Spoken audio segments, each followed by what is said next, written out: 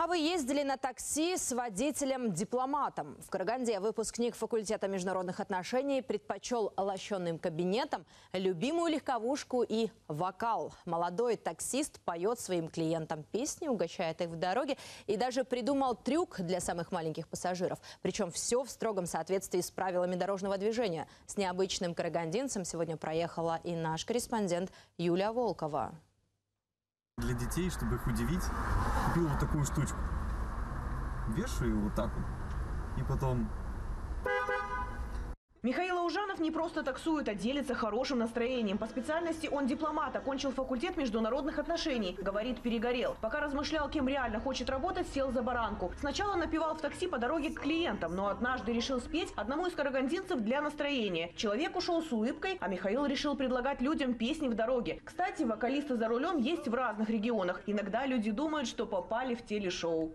Клиент начинает вот так вот э, смотреть в разные стороны, и такой, а потом еще спрашивает, а где камера?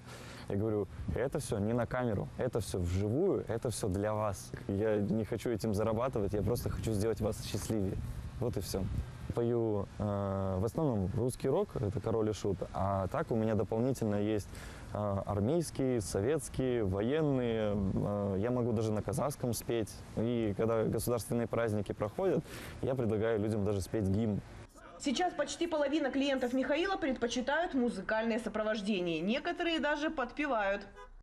Чего на свете лучше нету, чем бродить друзьям по велосвету.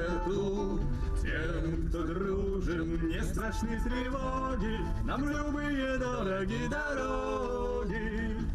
Есть в такси и другие приятные бонусы для удобства людей. Самое первое, что появилось, это конфеты.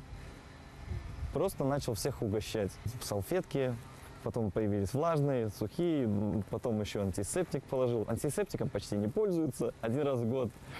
Э, Зарядки все только какие только можно. Был бы кофе-аппарат какой-нибудь не- недорогой, конечно бы поставил бы, угощал бы с утра людей кофе.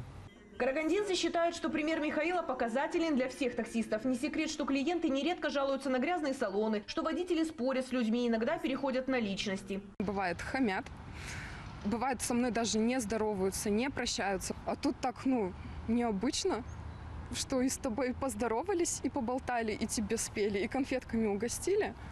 Вот, я считаю, это замечательный пример. Вот такие маленькие детали, они очень сильно меняют течение дня, и вот эти вот положительные, добрые моменты, они как бы заряжают тебя на весь день. Вот эти вот моменты, мне кажется, может каждый из нас перенять, ну, особенно таксисты.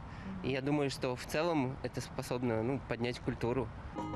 Грохочет гром, сверкает молния в ночи, а на холме Стоит безумец и кричит, сейчас поймаю тебя в сумку, и сверкать ты будешь в ней.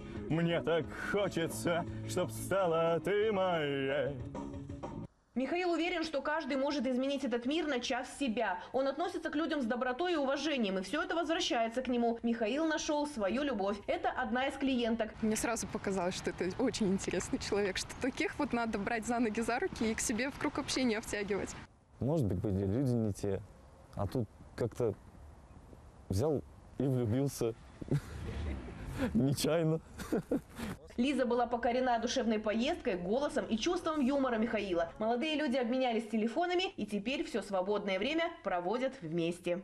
Юлия Волкова, Иркеолан Тойболдин, Первый канал Евразия.